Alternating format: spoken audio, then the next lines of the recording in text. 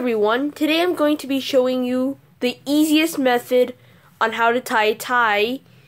This method is is the very common and classy four-in hand knot. And I'm going to show you how easy it is. It's easier than a double Windsor. So you pull so let me undo this and let's get started. So the four-in hand knot is um, a fairly asymmetrical knot compared to the Windsor that I showed you earlier, which is more which is more of a symmetrical. The half Windsor is somewhat symmetrical. And it's this is very easy. You just simply, of course, start with the start with the X that I showed you in the full Windsor video and as well as the half Windsor video. You go behind over you you full turn you make your full turn going over.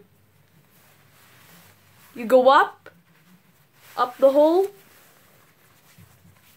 and through this little what I call the tunnel the tie tunnel where you pass it past the the wide end through the tie tunnel and then up the neckline.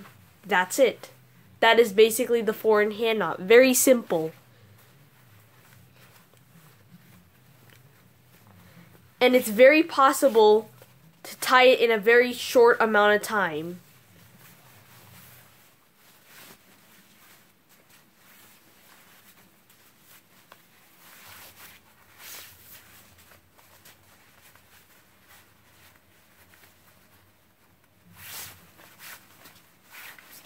Yep, very short amount of time. I think that took me about 10 to 20 seconds to tie a four-in hand knot. Very easy knot. Just remember, you start with the X, go go behind, across, and over, and that's pretty much it. Yep, one one more time. So so if you guys want to um follow along, let me go a little bit more slowly for the beginners who are watching this. So you start with the X. You start with an X you go behind, so you're looking at your backside of the tie, take the wide end of the tie and cross it in front. So you're looking, so it makes like a little bridge. See there? Then you pass it up and through the, the tunnel I was talking about earlier, this one that we made. Tunnel, bridge, either way.